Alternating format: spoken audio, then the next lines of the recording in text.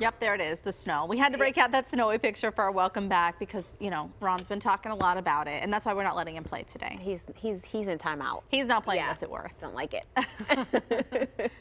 All right, so it's an all-female lineup today for What's It Worth. It's our weekly antique appraisal game, and this is where we ask antique expert Dr. Lori the value of five items chosen from our photos sent in the PTL mailbox. Hi, Dr. Lori.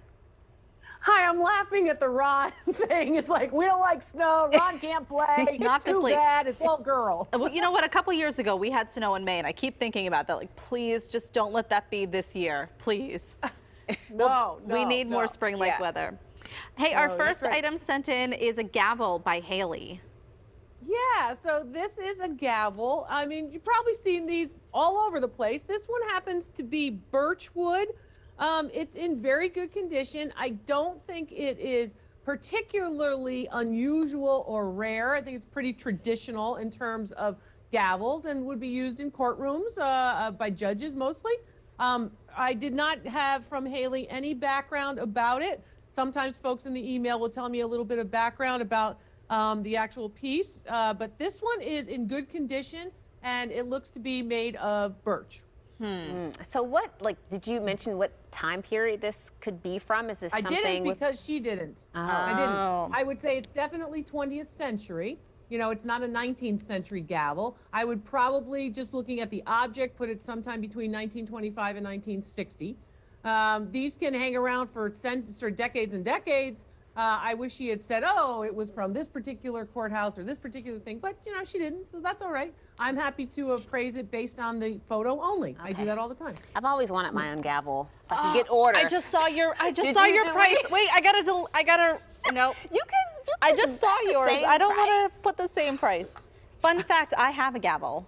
Okay. Okay, here we go. You ready? Forty-five Who dollars. has a gavel? Heather? Heather has a Seventy-five gavel? dollars. I do have a gavel. I'm I'm the president of our local SAG-AFTRA. And you have your own gavel. and I have my own gavel. It was handed down I to me from the, the- former president. It's amazing. I thought it was for the three kids. It was. I should pull it out for that too. Yes. Okay. Seventy-five dollars is what the gavel is worth.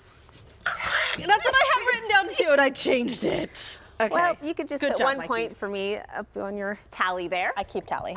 Okay. All right, so next we have a cookie jar set from Teresa.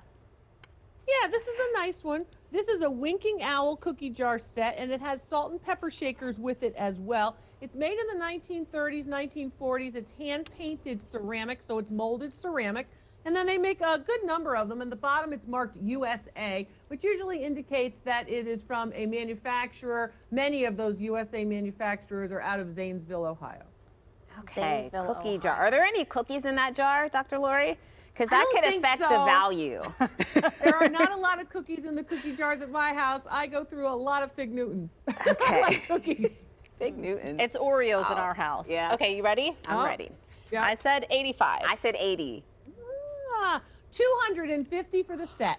Wow, that's amazing. I'll take the point, even Yeah, though you I'm not close. All right, we're going to take a quick break, and we'll be back with more items for Dr. Lori to appraise.